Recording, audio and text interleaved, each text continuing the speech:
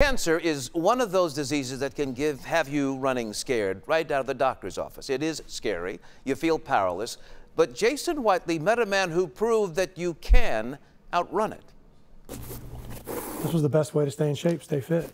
Doubtful you'll find another runner wearing one of these. You know, it sits in the small of my back when I run.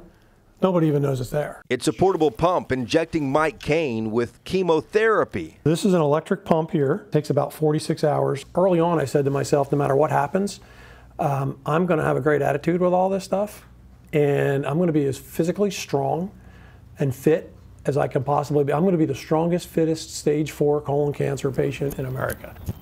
This is a marathon Mike never expected.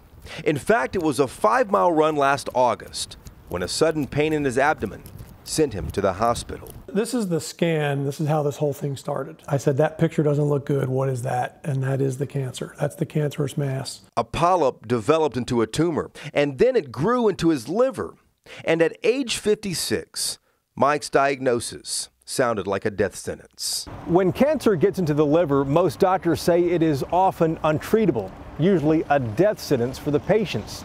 All except for one doctor at Methodist Hospital in Richardson. Well, look at what the cat dragged in. How are you? I'm good to see you.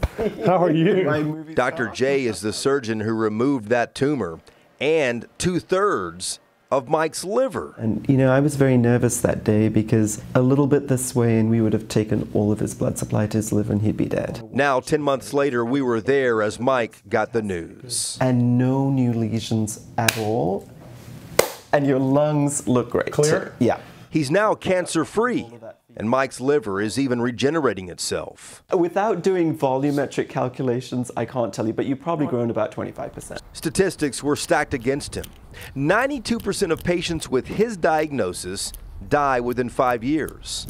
Somehow, Mike Kane, though, beat the odds, took his chemo on the run, and disciplined himself to defeat it. Jason Whitely, Channel 8 News. Incredible. Wow.